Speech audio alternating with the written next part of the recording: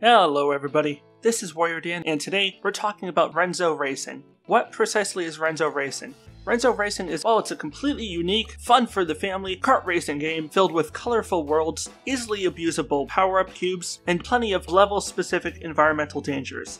With such an engaging premise, it's a wonder no major publisher has yet made a franchise out of this simple concept. Oh, wait, hmm.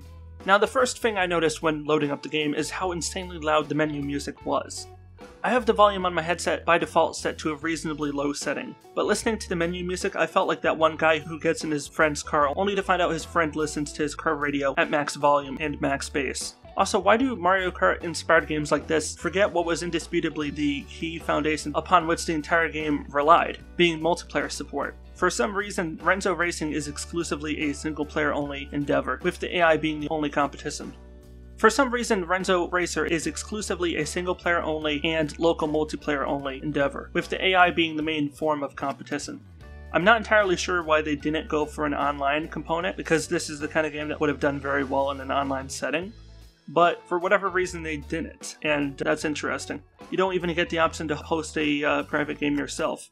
The game follows the tried and true Mario Kart design philosophy of playing through and subsequently winning kart tournaments in order to unlock new playable levels and characters.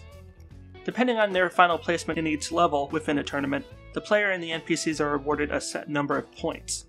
The better your position is at the end of the level, the more points you earn. At the end of the tournament, the total number of points are added up, and the character with the most points wins. So it's perfectly possible that you could end up not placing in first place in several, even potentially not placing first in any round, and you could still end up in first place, depending on how consistently you make it into at least second or third place. It largely depends on how consistently or inconsistently the other AI bots perform around you. One of the things that made the Mario Kart game so iconic was the visuals and layout of each level. Here in Renzo Racing, the visual aesthetic and level flow tend to be okay. There's really not much here to be considered remarkable. The tracks do have some nice variations, like a water park level where you basically slide around the whole time, and there's a decent forest themed one. But then there are some others like this Rainbow Road knockoff that feel unnecessarily derivative. It's like the game couldn't fully commit to being its own thing without strictly adhering to what Mario had already done too. It's worth noting that for some reason the textures on a lot of the foreground and background set pieces are really low quality. This is especially jarring because the character models all seem to be rendered in high definition, making a very notable contrast.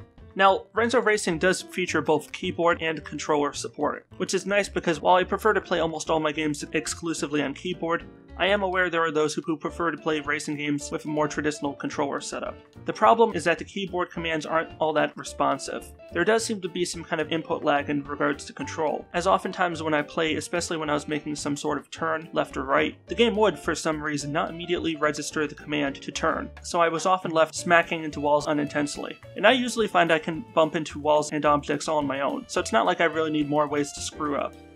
Renzo Racing is currently listed on Steam at the price of $4.99 USD, which is not a bad price point. I just honestly wish that the game had a bit more to it. Content wise, it has more than enough to warrant even higher than $4.99, but quality wise, it's a bit of a hard sell.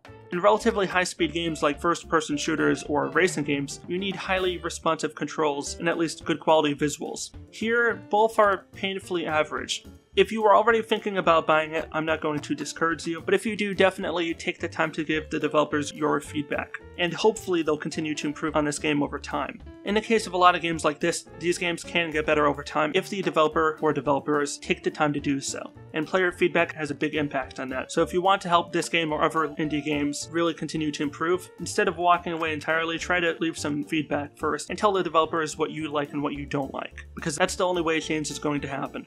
I usually like to hope for the best even when certain games don't put their best foot forward during the initial release window. So is Renzo Racing worth buying? Yeah, not really at the moment. If they continue to add new content updates over time, quite possibly, but for the moment I'm giving it a thumbs down.